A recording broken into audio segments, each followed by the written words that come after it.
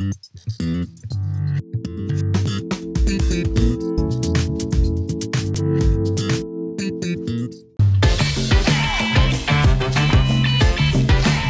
Continuamos con más Portal 11, ahora en el bloque tesis, para hablar de determinados temas de investigación llevados adelante aquí en la Universidad Nacional de Santiago del Estero. Y por supuesto, dándole voces a los investigadores y sobre todo a los estudiantes que están llevando adelante determinados proyectos, determinados trabajos en las facultades. Y por eso le toca el turno, ahora lo voy a presentar, a Jonathan Farut. Muy buenas tardes. Buenas tardes, gracias por la invitación. No, por favor, gracias a vos por venir para hablar ahora de un proyecto de investigación llevado adelante en la Facultad de Ciencias Exactas y vamos a hablar ahora para ver más o menos de qué se trata esto, cuál es la, temática que se ha tratado y por supuesto cuál ha sido el alcance de este, de este proyecto. Así que por favor, este, Jonathan, comencemos digamos hablando un poco de cuál ha sido el origen de esta idea, por qué el tema para tratarse en este proyecto de, investigación. El tema, bueno, el título es Propuesta de automatización para un cuarto de fermentación de una panadería artesanal este, con adquisición de datos. En lo que es la implementación de automatización para la etapa de fermentación de una panadería. Yo he elegido ese caso porque en el caso de mi familia tiene panadería y bueno, es más fácil conseguir los datos y hacer todos los cálculos que hay que hacer para eso.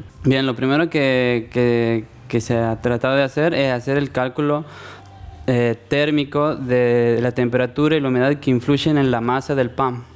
Cómo influyen todas esas condiciones ese es puntual, puntualmente el motivo de interés del, trabajo, marcar la diferencia en ese punto. Eh, claro, sí, porque así como en la panadería, en este caso de, mi familia, hay muchas en Santiago del Estero que tienen la fermentación artesanal, lo que se dice, o sea que no... Clásica, tradicional. Que no controlan la temperatura ni la humedad y a veces ni el tiempo o a veces el tiempo de fermentación se hace muy largo. Las panaderías que tienen grandes presupuestos aquí pueden comprar este, lo que se llaman eh, cámaras de fermentación controlada, que son carísimas.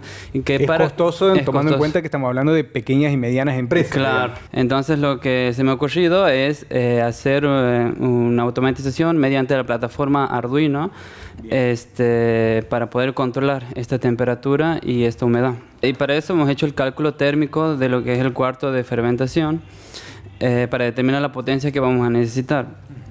Y con las condiciones ambientales que tiene normalmente la región de aquí, Santiago, este, Salta. Que son datos a tomar en cuenta para regular este, determinados mecanismos para llegar, digamos, a cumplir con la, con la tarea. Las condiciones de ambiente también influyen, los tiempos. Y hablando de condicionamientos, también eh, tomemos en cuenta que es un proyecto este, innovador en, el, en materia de pymes, porque como hablábamos detrás de cámara también, informalmente, este, panaderías puede haber muchas, otros negocios también, pero básicamente ese trabajo lo que busca es marcar la diferencia en este aspecto, digamos. Sí, sí, sí, porque justamente para los pequeños productores este, se les es casi imposible acceder a esas máquinas y entonces esta sería una solución al alcance de ellos para poder este, implementar automatización y de a poco ir este, automatizando toda la producción del pan. Si bien tomemos en cuenta, Jonathan, que este trabajo está en una determinada instancia de presentación del, trabajo en la facultad, este, ¿cómo ves vos a futuro la aplicación del, proyecto? ¿Lo ves viable? ¿Has,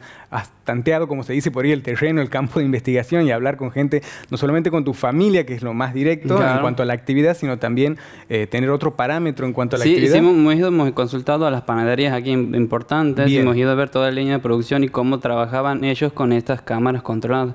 Y nos decían los problemas, las ventajas y las desventajas que tenían. Y en el proyecto hemos tratado de este, brindar soluciones a todo eso. Como por ejemplo tenían problemas con el tema de humidificación que no había una forma de, de secado o una buena recirculación cuando se generaba el vapor. Y bueno, eso hemos tratado de mejorar nosotros, porque la cosa es así normalmente para aumentar la humedad y la temperatura se necesita un generador de, vapor, que normalmente eh, es haciendo hervir el agua o de otra forma mediante un chorro pega una chapa caliente y esto genera el vapor. Pero si ese vapor este, no se lo eh, seca o no se lo hace recircular bien mediante un aire, eso genera mucha humedad. Eh, nuestra propuesta ha sido mediante sensores de la plataforma Arduino, que hay un sensor de, temperatura y humedad que mide esto, controlar unos relés que también son de Arduino que me van a controlar los contactores y, donde están las, resistencias para accionar esto. Jonathan, y en términos de calidad en cuanto al producto que podemos hacer referencia en ese tema. Bien, este, lo que se ha referido a lo que es la fermentación tradicional tiene varios problemas. Como no puedo controlar la humedad y la temperatura, Si la humedad es muy alta, este me genera un pan gomoso. Si es muy seca, ah, viceversa. Y lo mismo si la temperatura es muy alta, porque a veces lo que se hace es se pone estufas o algo, pero no están controlando la temperatura que tiene adentro. Este también este, tiene desventajas, se hace la corteza muy, muy rojiza todo. Y bueno, mediante esta automatización controlando todas esas variables, el pan sale de mejor calidad y en un tiempo mucho menor. Por ejemplo, es de 10 horas el tiempo de fermentación de la cámara de fermentación tradicional y se lo acorta a 4.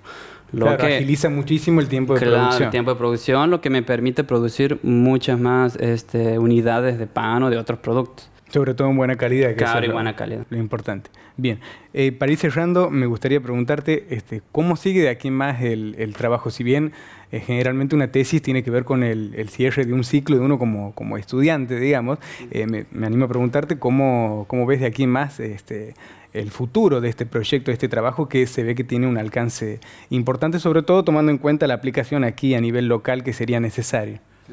Eh, bien, bueno, yo tenía la idea de, de, implementarlo, llevar a la práctica, hacer ensayos.